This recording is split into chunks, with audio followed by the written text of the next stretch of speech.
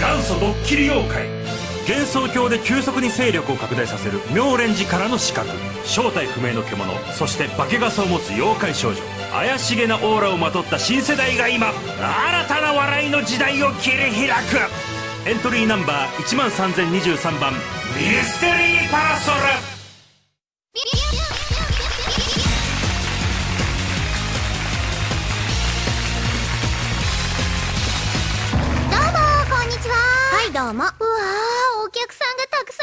ますねうん、たくさん入ってありがたいと思いますけどね。はいまあ、でもどうせあれですよね。レームとかサナイとかね、そういうスター目当ての人たちばっかでしょ。うん。まあ、でもそれはしょうがないことですよ。じゃああなたね、妙蓮寺オンリーライブを見に行きますかと聞かれたら、私なら行かないと答えますけどね。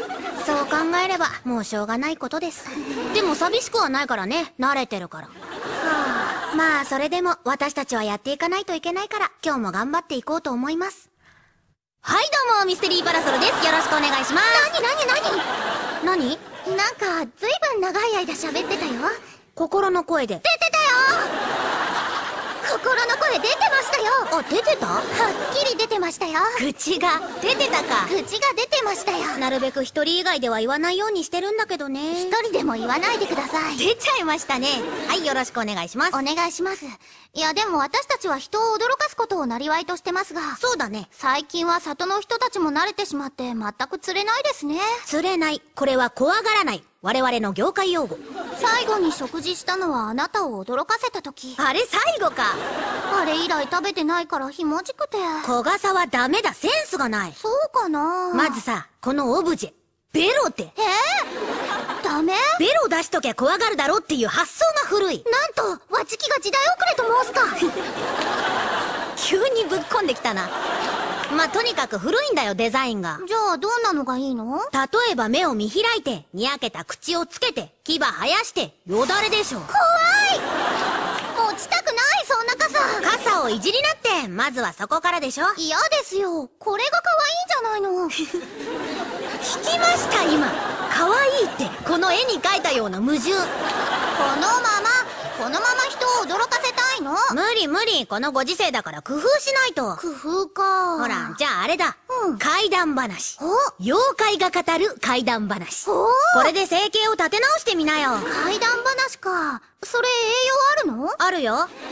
怪談でも相手が驚いたことには変わりない。ああ原理は一緒。でもそれ美味しいの？そうだな。例えば道を歩いてて段差に気づかずに足を踏み外して、うわっと驚いた時くらいの味かな。美味しそうでしょ？だから、ただら小傘の怪談話って立て直していこうか。うーんでも私ねうん。怖い話とか持ってないよそれなら作りなよ。1個か2個。どんな風に？だいたいああいうのはパターンがあるんだよ。うんうん友達と墓場に肝試しに行って、はいはいはいしくしく泣いてる女の子が座ってて、うんうんその子に話しかけたら、うんうんなんとかだよーみたいな。ああ驚かすやつねこんなのでだいたい間違いない。ああそれくらいならできそうだねうんちょっとやってみなよ。うん聞かせて聞かせて。やってみる。たたら小傘の怖い話。待て待て待て。なんだそれ。え？怖がらせる気ゼロだろ。いやタイトルは必要だと思って。いらないよ。スッと入ればいい。そうなんだ。ほらろうそくとか立ててさ。怖そうな口調で喋るの。ああなるほど。わかったわかった。この間ねお墓に行ったの。かわいいな。何何そのノリ。え？絵じゃないよ。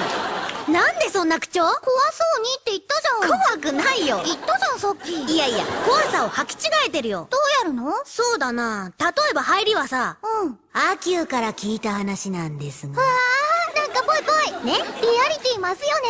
うんそうそう。アキューから聞いた話なんですぽいぽい。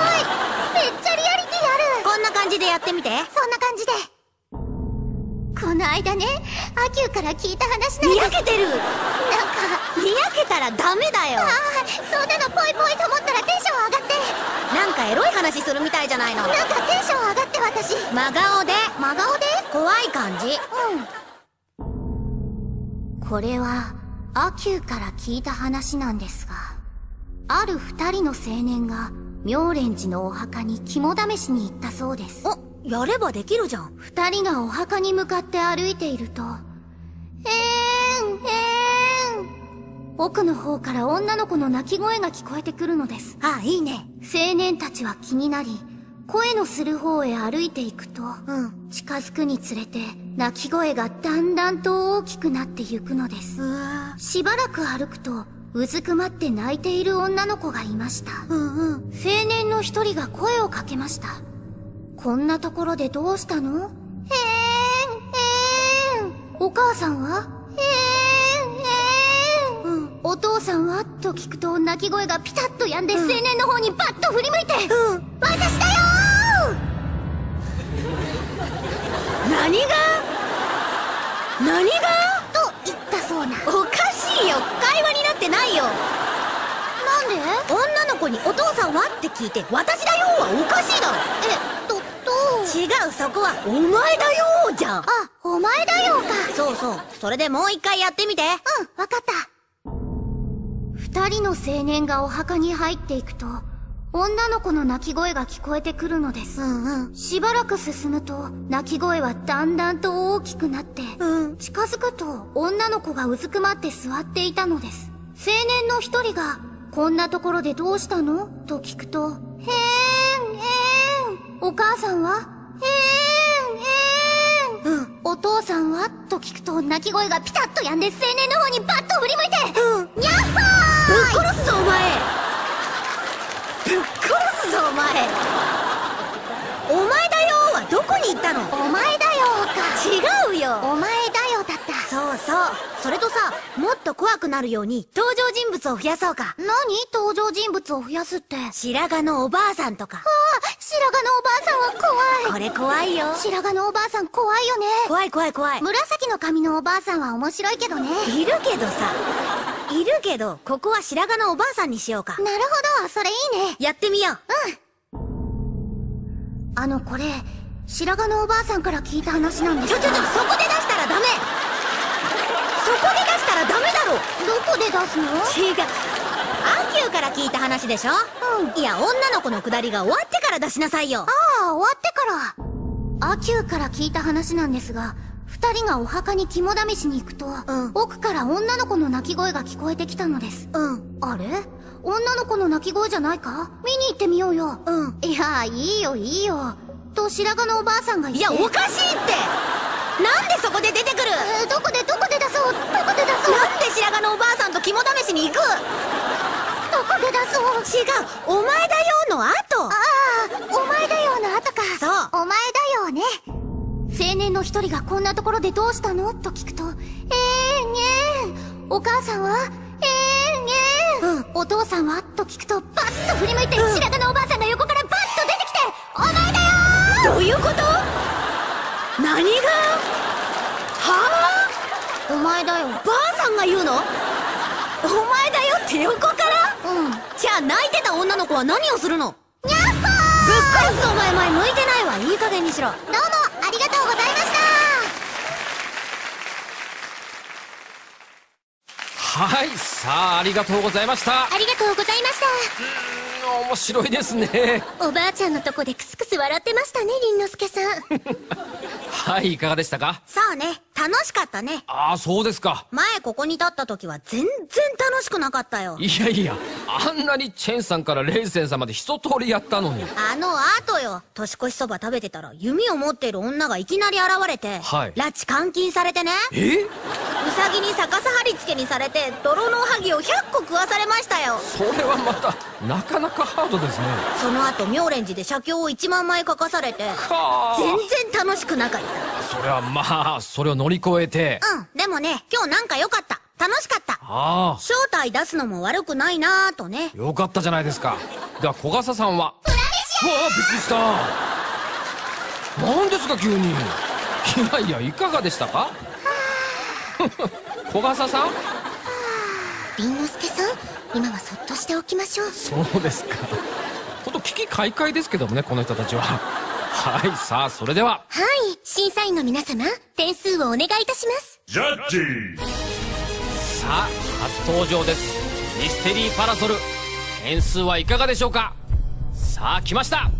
91点90点95点93点。円ん円合計点は？369円です。いやいやおかしいおかしい。マミゾウさん？もう見破ったか まみぞうさんが何かやったんですか？表示をバグらせてます。ダメですよ。早いの。やるの。ではもう一度お願いします。はい出ました。合計点は？369点白です。はい。順位の方はどうでしょう？はいさあということは？第2位です。あららいやいや高得点ですよ。ああそうなの？さあそれでは聞いてみましょう。二つ位はまみぞうさん。うんこっちの漫才は人が増えるわ。実際にババアが出てくるわ。何でもありじゃな。そうです。それが東宝 M1 の醍醐味ですが。でネタは？うーんもうちょっと手数が欲しかったの。全体的には悪くない。なるほど。わかりました。では各聖華さんいかがですか？よかったですけどただ一つ一つのボケの振りがちょっと長い気がしましたね。なるほど。にゃっほーいとか良かったですがでも一番足りないのは色気かな。色気。特に小笠ちゃんの。はあ。傘ね。そこ？そこに色気を求める。傘に色気を足していきましょう。色気ですか。マニアックですね。はいわかりました。さあそれではミステリーパラソル結果が出るまでお待ちください。ありがとうございました。ありがとうございましたそれでははい。ここからは運命の分かれ道3組目です。はい。一組ずつ敗退者が出ることになります。ええ戦いはさらに厳しくなりそうです。それでは行きましょう。はい。続いてのコンビはこの方たちです。どうぞ